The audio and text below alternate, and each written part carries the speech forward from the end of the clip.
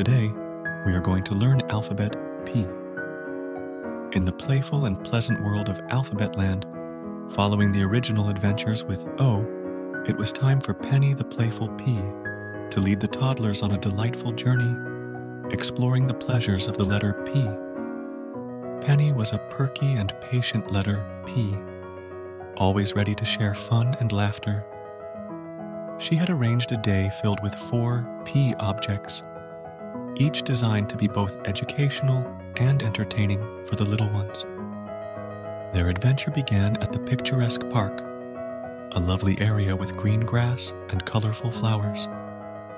Here, the children discovered a patch of pumpkins.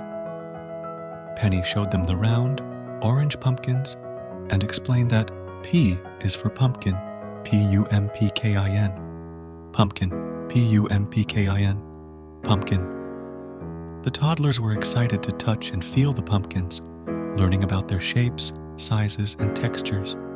Next, Penny guided them to a cozy reading corner under a big tree where they found a pile of picture books. The books were filled with colorful illustrations and engaging stories. The children learned that P is also for picture book, P I C T U R E. Picture, P I C T U R E. Picture. Penny read a story aloud, and the children listened with rapt attention, absorbed in the magical world of storytelling. After story time, they moved on to a playful activity with puzzles. Penny had prepared a variety of simple jigsaw puzzles with bright and appealing images. The toddlers learned that P is for puzzle, P-U-Z-Z-L-E, puzzle, P-U-Z-Z-L-E, puzzle. They worked together to fit the pieces, developing their problem-solving skills and enjoying the satisfaction of completing the pictures. The final stop was a fun-filled area with a painting station. Here, the children found non-toxic paints and large sheets of paper. They learned that P is for painting, P A I N T I N G. Painting, P A I N T I N G. Painting.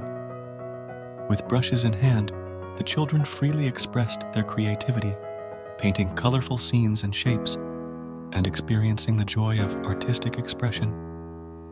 As the day came to an end, Penny felt a warm sense of fulfillment she had shared the fun of pumpkins, picture books, puzzles, and painting with her young friends, filling their day with learning and laughter. Waving goodbye to Penny and the playful world of P, the children left Alphabet Land with smiles and new memories. Their anticipation for Q was growing, excited to continue their alphabetical journey with more quaint and quirky experiences.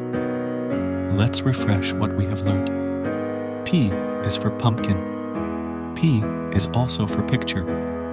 P is for puzzle. P is for painting.